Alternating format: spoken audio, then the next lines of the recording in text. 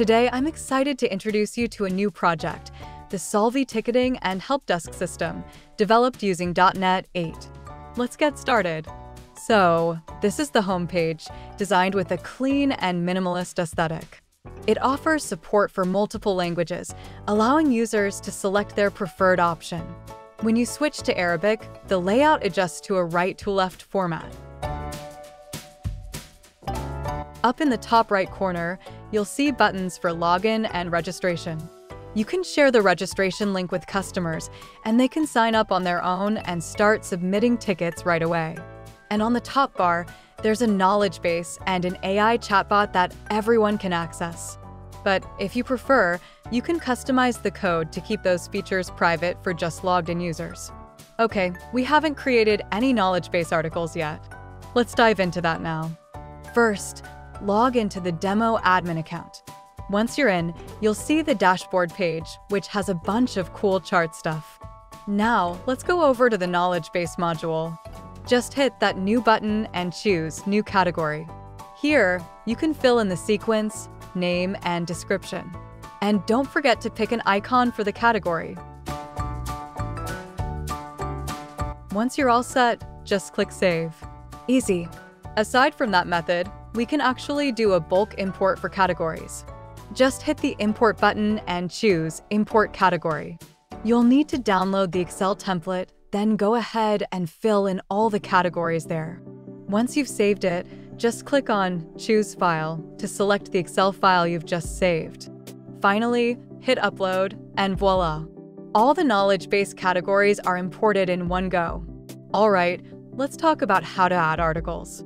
We can either add them one by one or go for a bulk import. I've already prepared a bunch of articles in the Excel file, so I'll go for bulk import now.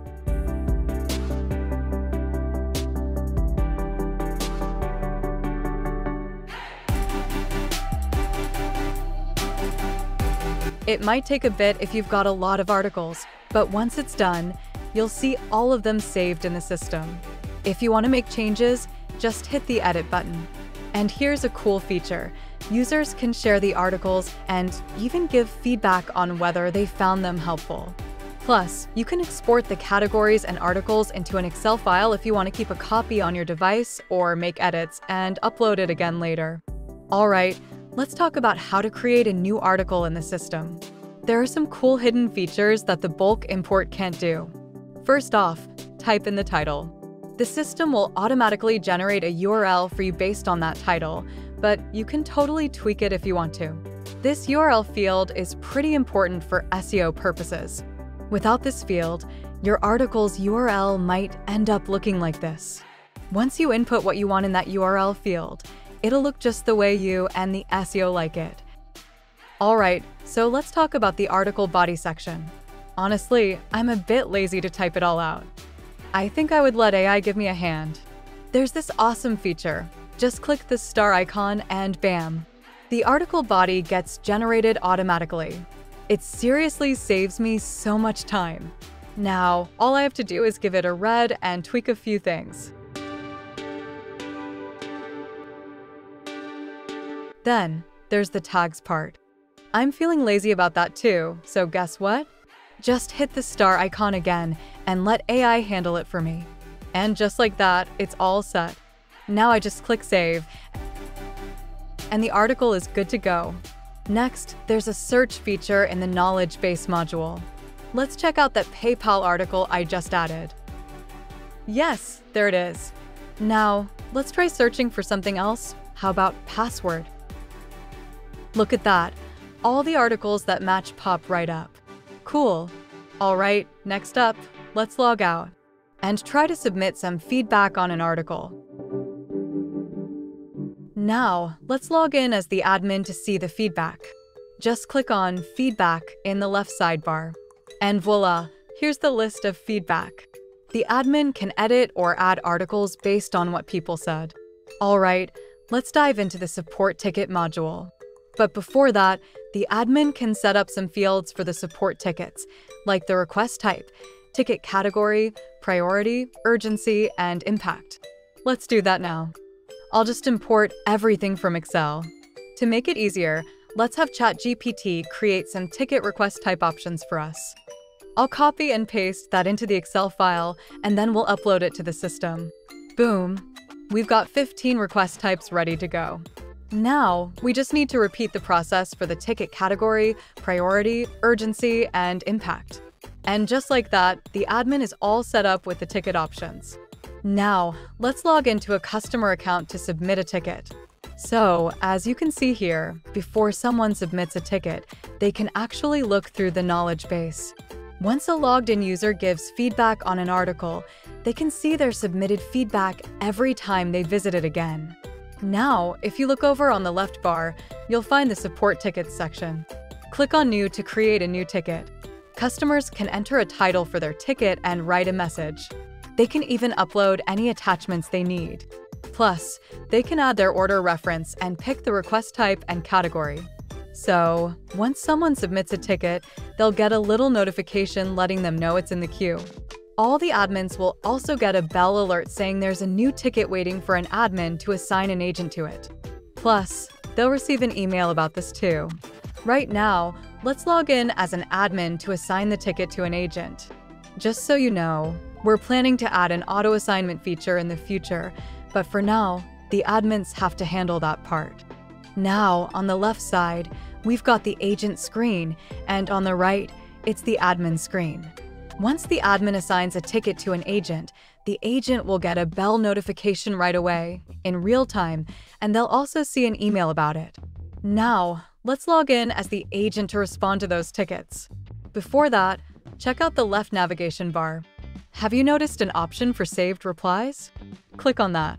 From here, the agents can start adding replies that are often used for support tickets. It's a great way to speed up the agent's response time and make their life a lot easier. Let's save some now. Okay, done. It's time to reply to the tickets. The agent can click the bell icon and tap on the notification to jump straight to the ticket. Then, they can hit New Reply. Let's add the common reply that we saved just now. After that, edit the message. The rich text editor enables the agents to add links and even paste images right in.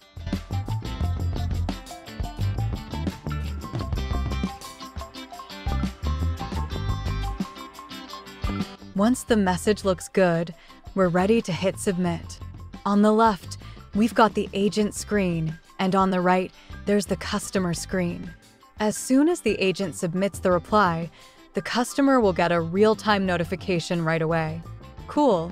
Customer can just click on the notification and head straight to the ticket to check out the replies. Plus, they'll also get an email about it. Both the agents and customers can see the whole conversation, which is pretty cool. Customers can even reply to the ticket, and as soon as they do, the agent gets a notification right away.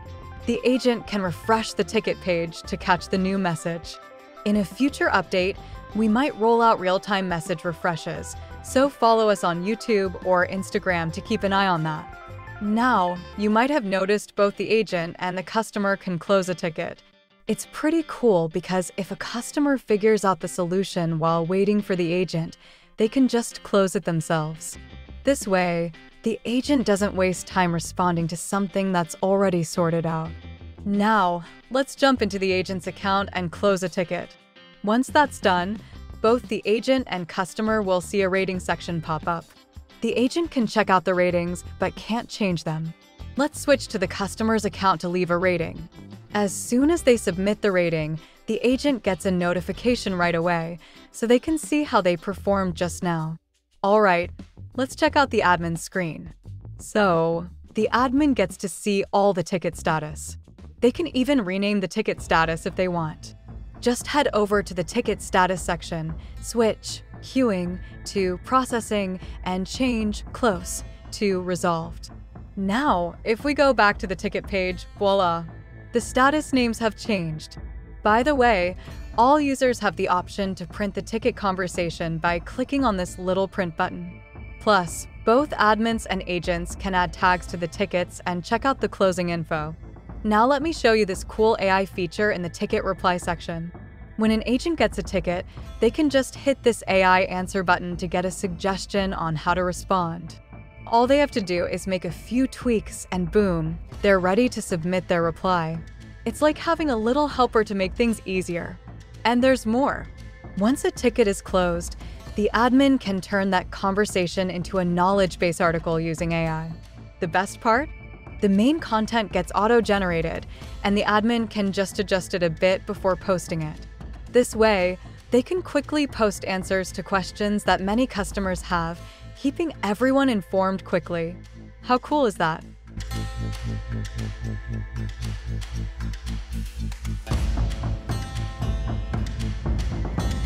All right, let's move on to the AI chatbot module. Everyone can access this module. Right now, you'll notice the chatbot avatar is blank because the admin hasn't uploaded an image yet. No worries, just head over to the left bar and click on the chatbot settings. The admin can upload an image there. Now goes back to the AI chatbot. Yes, the image is right there. But that's not all. We can also set up some default questions for the chatbot. Just go to the chatbot defaults and you can tweak the questions however you like. Plus, you can rearrange the order of the questions too. Let's log into a customer account and ask the AI chatbot about the icon we're using in the project. Hit that send button. The AI chatbot is answering the question right away. Yes, the answer is Bootstrap icon. For the title, it's generated automatically by AI. If you want to change it, there's an edit button you can click. You can also delete the chat if you need to. Plus, if you want to save the chat, just click on this icon and you can export it to PDF, Excel, CSV, or Word. Now, let's switch to the admin account and dive into the AI chatbot module. Here, the admin can see all the conversations everyone's had with the chatbot. Just pick the customer from here, and a list of their chats pops up. Click on a chat, and the whole conversation shows up. The admin can see the email log, notification log, and error log. And guess what? The system has a dark mode feature too. Here's something else that's super cool users get to choose their favorite navigation layout. We've got three options, and by default, it's set to the sidebar. But let's switch it up and go with the icon bar. Nice, right? Now the content is all big and the sidebar is just icons. Let's try the top bar next. Awesome! Now the main content takes up the entire screen, and the navigation is right at the top center. Besides, we have all the basic stuff, like uploading a profile picture and changing the password. That's a wrap for the demo. If you want the full source code, just check the link in the description below. And if you have any ideas for new features, drop a comment or fill out the Google form link down there. Thank you so much for watching.